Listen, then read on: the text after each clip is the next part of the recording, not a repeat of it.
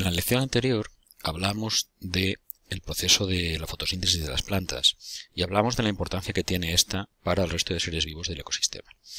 Vamos a comparar ahora un poco esta fotosíntesis con la respiración celular que también llevan a cabo las plantas. Vamos a fijarnos primero en esta parte de la diapositiva en la cual aparecen pues la hoja de la planta y estas flechas que nos indican qué camino siguen el oxígeno y el dióxido de carbono cuando la planta hace la fotosíntesis. Si nos fijamos bien, el dióxido de carbono está entrando desde el exterior, desde el aire, a la planta, a las hojas a través de unas estructuras que se llaman estomas.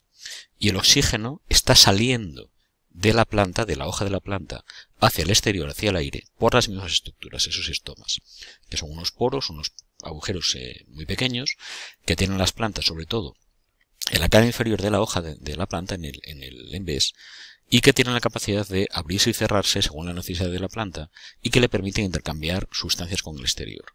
¿Qué sustancias intercambian? Gases, oxígeno y dióxido de carbono. Vuelvo a repetir. Para la fotosíntesis, las plantas toman dióxido de carbono y sueltan oxígeno. En la siguiente diapositiva vamos a ver un esquema de cómo tiene lugar la respiración celular. La respiración celular es un proceso que, si lo comparamos con la, fotosíntesis, es justamente lo contrario. Es decir, la fotosíntesis toma dióxido de carbono, toma agua y lo convierte en glucosa y se libera oxígeno. La respiración celular, fijaros que aquí es justo al revés. Con glucosa y la ayuda del oxígeno se produce una reacción química en la cual se libera energía, energía de tipo químico, que la planta va a utilizar, por ejemplo, para multiplicar sus células y crecer, y como residuo, como resto, se libera dióxido de carbono y agua. Es justo lo contrario de lo que hace la fotosíntesis. Este esquema que tenemos aquí, marcado con un óvalo de color anaranjado, esto representa lo que se llama una ecuación química. Una ecuación química es una manera de representar una reacción o un conjunto de reacciones químicas que tienen lugar o bien en un tubo de ensayo si estamos hablando de una reacción que se produce en un laboratorio o en este caso dentro de una célula.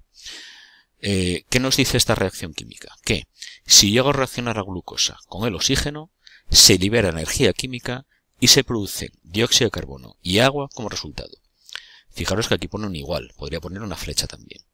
Si yo leo esta ecuación química en el sentido contrario, es decir, de derecha a izquierda, en lugar de estar representando el proceso de la respiración celular, estaría representando el proceso de la fotosíntesis. Y significaría que el dióxido de carbono se une con el agua y gracias a la energía, en este caso tendríamos que poner energía luminosa que se convierte en energía química, pero en cualquier caso, gracias a un aporte energético, esto se convierte en glucosa más oxígeno. Como vemos son procesos contrarios.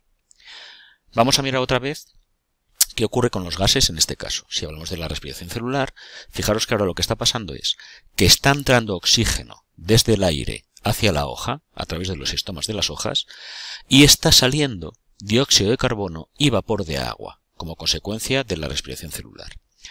Antes decíamos que la fotosíntesis se producía en un orgánulo que tienen solo las células vegetales que se llama cloroplasto, en el cual aparece una sustancia química muy importante que se llama clorofila, que es la que permite transformar la energía luminosa en energía química. La respiración celular se produce en otro orgánulo distinto que se llama mitocondria, que está representado aquí, y que como dice en la, en la imagen, está presente tanto en plantas como en animales. Con esto queremos decir que nosotros, los animales, llevamos a cabo la respiración celular exactamente igual como lo hace una planta. Hacemos lo mismo. Lo que no hacemos es la fotosíntesis, que eso solo pueden hacerlo los organismos fotosintéticos como las plantas.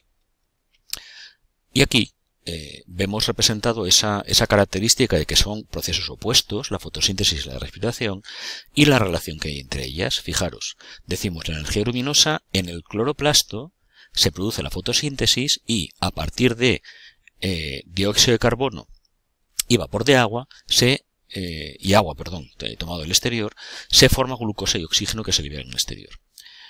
Esta glucosa, ¿qué ocurre con ella? La glucosa la utilizan las mitocondrias para hacer la respiración celular.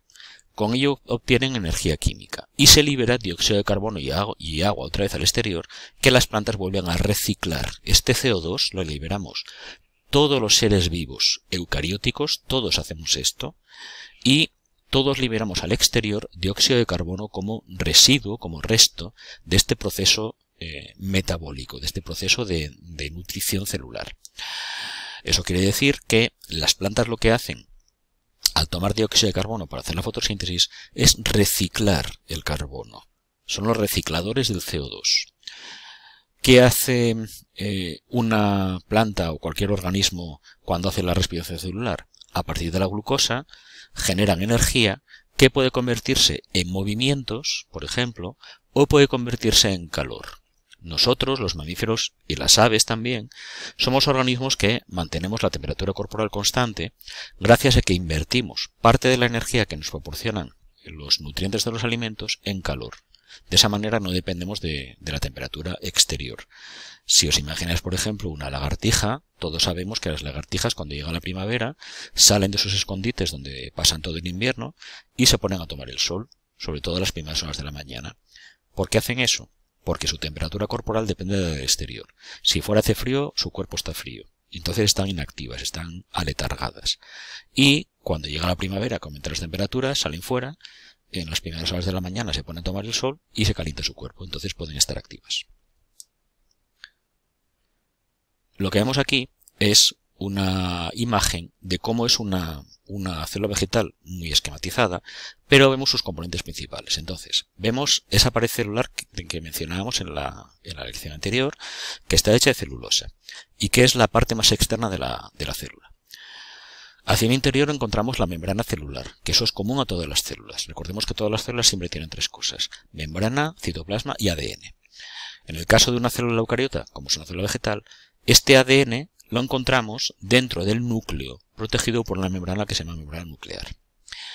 Las células vegetales son muy llamativas y muy características por dos cosas principalmente. Primero por la existencia de esta pared celular que les da forma pues más o menos regular geométrica variable, no son todas iguales, pero tienen una forma mm, geométrica. Y eh, cosa que no ocurre con las células animales. Y además, el interior de la célula, gran parte de él está ocupado por un orgánulo que se llama vacuola y que es una bolsa rellena de agua y que le da volumen y forma a la célula. Y además encontramos, veis que aquí están pintados de verde para representar que presentan esa clorofila que decíamos antes, encontramos los cloroplastos, que son los órganos responsables de hacer la fotosíntesis. Eh, una célula tiene varios cloroplastos, no solo cuatro, sino muchos, porque necesita la función de este cloroplasto para llevar a cabo la fotosíntesis. Y presenta también las mitocondrias, que como acabamos de explicar, se encargan de realizar la respiración celular. Para terminar con esta lección sobre la nutrición de las plantas, vamos a resumir de nuevo qué sucede con los gases respiratorios, con el oxígeno, con el dióxido de carbono en las plantas.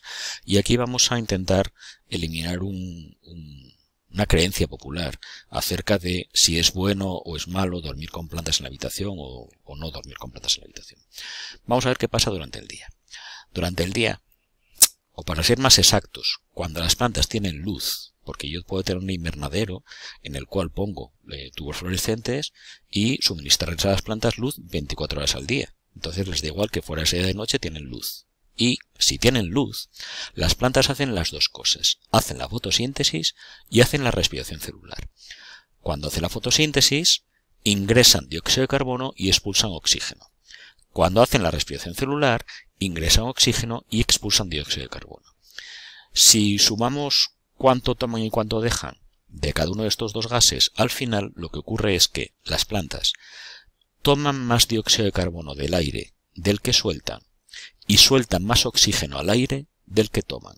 Por lo tanto, retiran CO2 del aire, lo cual es muy bueno, porque reduce eh, la concentración de dióxido de carbono en el aire, la mantiene estable y evita que haya un, un efecto invernadero excesivo. Y enriquecen la atmósfera en oxígeno, lo cual es muy bueno también porque eh, eso permite que el resto de seres vivos tengamos oxígeno disponible para nuestra respiración celular. ¿Qué ocurre si una planta no tiene luz? En la naturaleza es de noche, o yo en mi invernadero apago los luces durante la noche. Pues si no tiene luz no pueden llevar a cabo la fotosíntesis. Y entonces lo que hacen es solo la respiración celular, es decir, toman oxígeno y sueltan CO2. Y aquí viene el mito que mucha gente piensa que si yo estoy en una habitación en la cual tengo plantas, claro, las plantas están consumiendo oxígeno y me pueden robar oxígeno del aire. Entonces hay gente que piensa que eso es malo. Bueno, Esto no es así. En primer lugar, eh, dentro de una habitación la cantidad de aire que hay es muy grande. Por lo tanto, tendríamos que tener una cantidad inmensa de plantas para que realmente notáramos que nos están robando oxígeno del aire y nos muriéramos, que eso es lo que la gente, mucha gente piensa. Eh, por otro lado, nosotros cuando estamos eh, durmiendo en nuestra habitación, aunque tengamos plantas, las habitaciones no son estancas, no, están cerradas herméticamente, sino que eh, las paredes tienen poros. Eh, la propia estructura de la pared, los ladrillos, la pintura, todos los componentes que forman parte de una pared tiene poros, por los cuales se filtra aire con el exterior. Por lo tanto, hay un intercambio de, aire con el exterior. Las puertas tampoco son herméticas, se cuela aire por, las rendijas. Y eh, todo eso significa que siempre hay un cierto grado de ventilación. Y aunque tengamos plantas en la habitación, eso no significa que vayamos a morirnos. Ya para terminar, fijaros bien que eh, hay mucha gente que duerme junta. Eh, mucha gente duerme con sus hermanos, eh, las parejas duermen juntas, hay gente que duerme con sus animales de compañía, con el perro, con el gato, y mm, yo no conozco ningún caso hasta ahora que de personas que se hayan muerto por el hecho de dormir junto con su pareja, con su mujer, con su marido, con, con sus hijos en la misma habitación y que se hayan asfixiado por respirar el mismo aire. Os digo, esto es un, mito, un bulo, que mucha gente cree, cree que es así, pero que es incierto. Sí podría ocurrir otra cosa. Si yo tuviera en la habitación, por ejemplo, una estufa encendida porque es invierno, una estufa de gas, esa estufa de gas está quemando oxígeno. Y eso sí puede influir en que la cantidad de oxígeno que, hay dentro del aire de la habitación baje drásticamente, entonces sí podría producirse una, una contaminación y una intoxicación por falta de oxígeno. Eso es distinto. ¿Cómo se soluciona eso? Pues mm, dejando la, puerta abierta para que pueda ventilar con el exterior con el resto de la casa, quiero decir, y que no se acumule el dióxido de carbono que desprende la, estufa de butano y que no se consuma un exceso de oxígeno, que eso sí podría llegar a ser peligroso. Pero el hecho de dormir con plantas, por supuesto que no lo es, no hay ningún problema por ello.